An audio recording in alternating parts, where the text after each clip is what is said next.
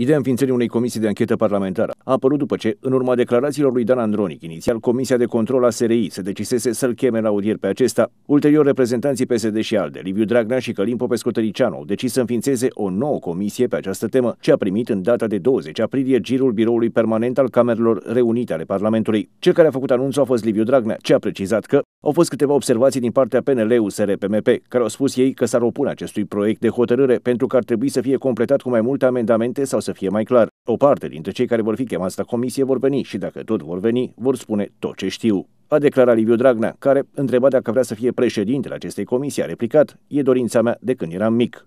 Înființarea comisiei va fi votată pe data de 26 aprilie.